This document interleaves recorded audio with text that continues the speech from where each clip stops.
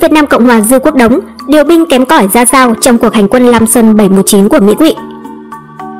Trong cuộc hành quân Lam Sơn 719 của Mỹ và quân đội Sài Gòn, ngoài lực lượng chính là quân đoàn 1 quân khu 1 giới chóp bu Sài Gòn còn tăng cường hai lực lượng được xem là thiện chiến nhất trong quân lực Việt Nam Cộng Hòa là sư đoàn thủy quân lục chiến và sư đoàn dù. Tư lệnh sư đoàn dù lúc đó là Trung tướng Dư Quốc Đống.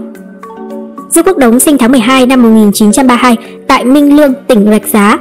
Khi còn nhỏ, theo học tại trường tư thục Võ Thành chứ, y cầm súng theo thực dân Pháp từ khi còn rất trẻ. Gia nhập quân đội khoán năm Hoàng Diệu, trường Võ bị Quốc gia Việt Nam, khai giảng vào tháng 7 năm 1951 và mãn khóa vào ngày 24 tháng 4 năm 52.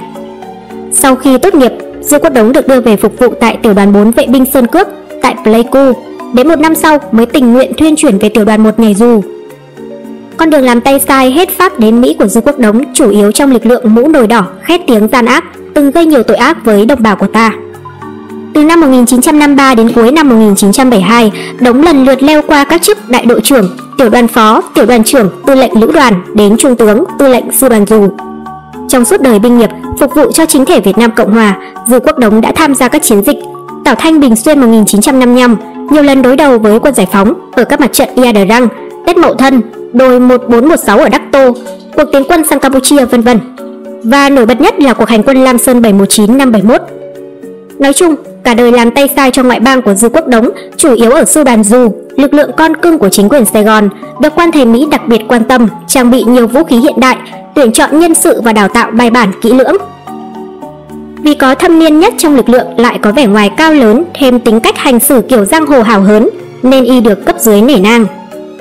Những viên thuộc cấp thường ca ngợi Dư Quốc Đống như sau.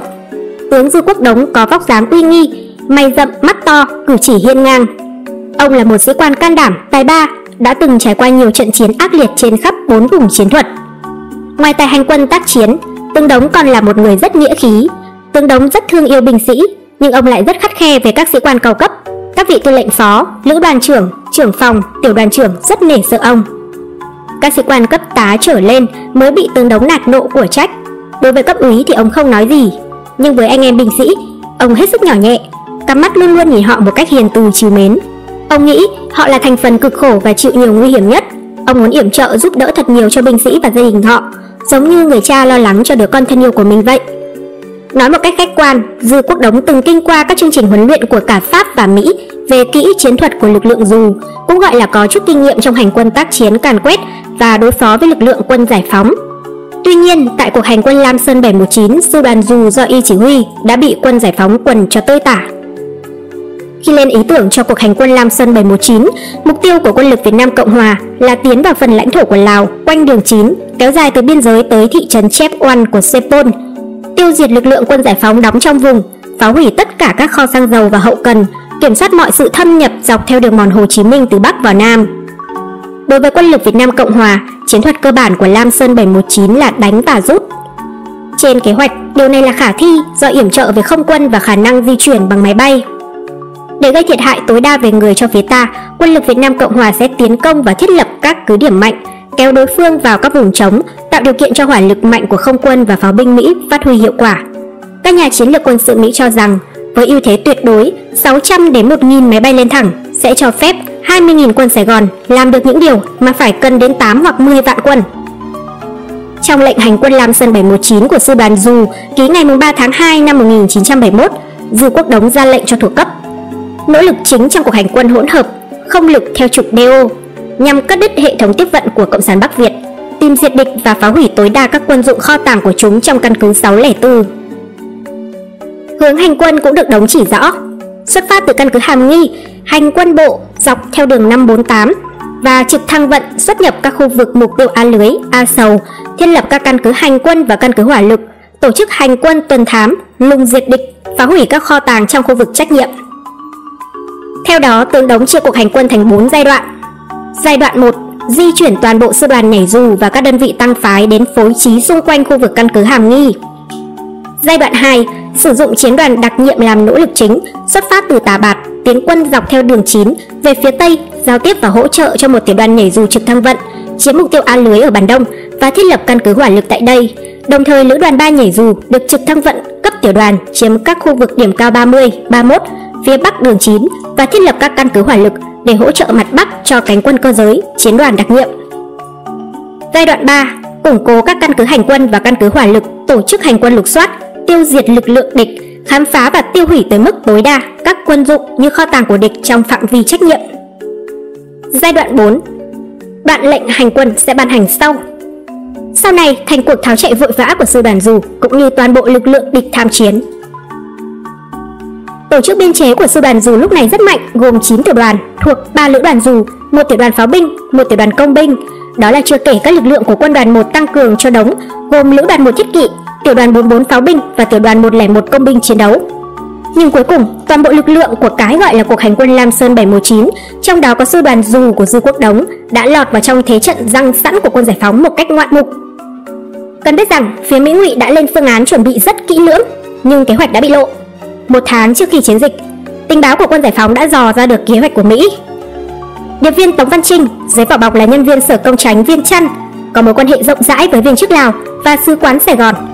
Ông Trinh đã tổ chức cuộc chiêu đãi đặc biệt mời 25 quan khách Việt Lào, gồm cả những sĩ quan cao cấp của Bộ Tổng tham mưu quân lực Việt Nam Cộng hòa sang công tác.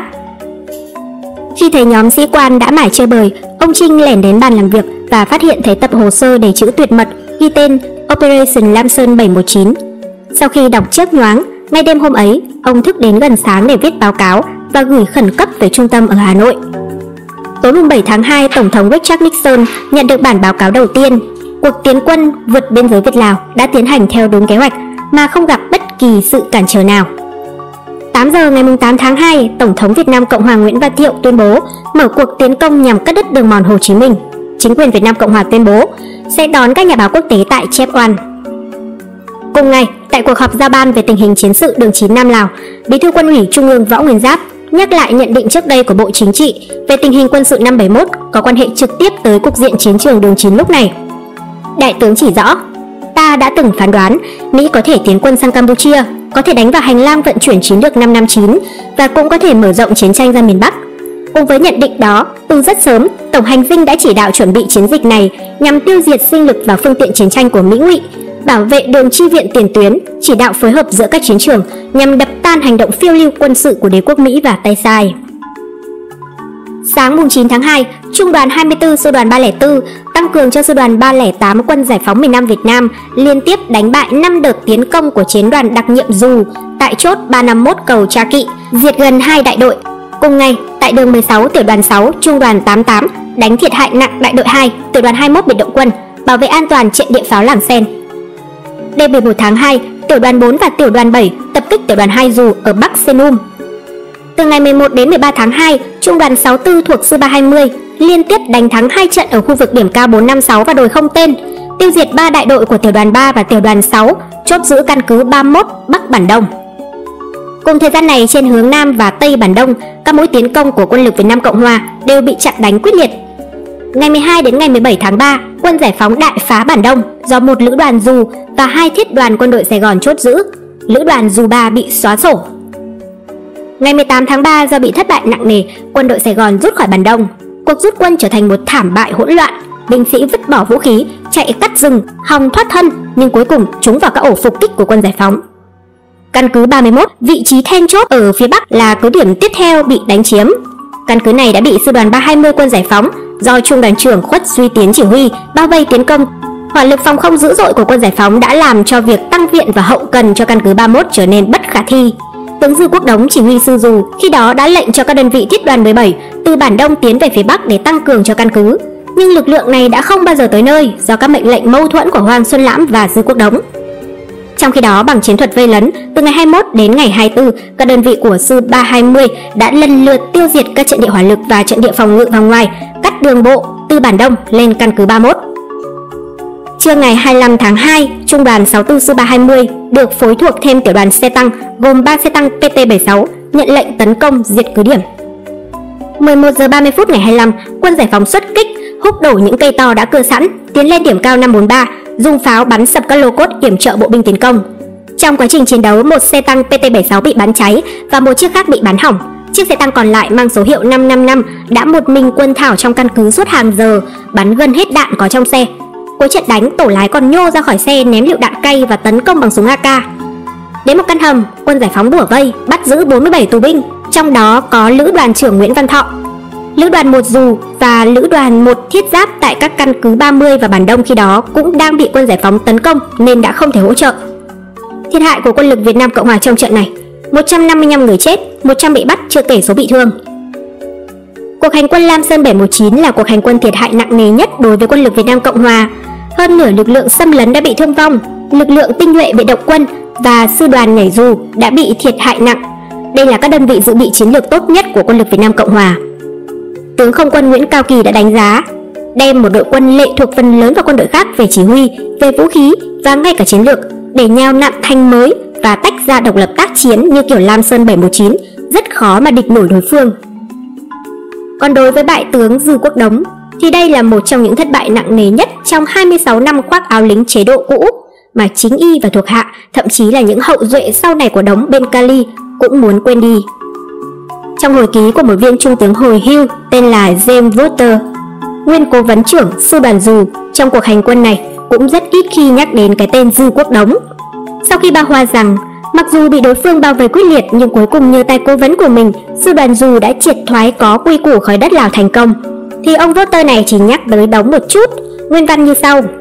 Tướng đóng trong buổi họp tham mưu đã nói với toàn bộ các đơn vị trưởng trong sư đoàn dù rằng từ nay tôi được phép đề nghị các quyết định hành quân chiến thuật cần thiết và mọi người phải tuyệt đối thi hành. Và kể từ ngày đó, tướng đóng không bao giờ phản đối bất cứ một đề nghị nào của tôi đưa ra. Không biết là Voter khen hay là chửi đóng, xem vị tướng này là bù nhìn dưới quyền điều hành của các cố vấn Mỹ. Cuối năm 1972, Dư Quốc Đống rời chức sư đoàn trưởng sư đoàn Du để thay Ngô Du làm trưởng đoàn thương thuyết của quân đội Sài Gòn trong Ủy ban Liên hợp quân sự bốn bên. Tháng 11 năm 74, Dư Quốc Đống được Tổng thống Thiệu cử giữ chức tư lệnh quân đoàn 3 quân khu 3, bao gồm Sài Gòn và các tỉnh phụ cận. Ngày 5 tháng 1, Đống xin từ chức, bàn giao chức vụ tư lệnh quân đoàn 3 lại cho Trung tướng Nguyễn Văn Toàn, Ngày 29 tháng 4 khi chế độ Sài Gòn sụp đổ hoàn toàn, Đống cùng gia đình cuống quýt rời khỏi Việt Nam sang tiếp tục sinh sống những ngày tàn cuối đời ở Mỹ. Ngày 22 tháng 4 năm 2008, Dư Quốc Đống qua đời ở một viện dưỡng lão.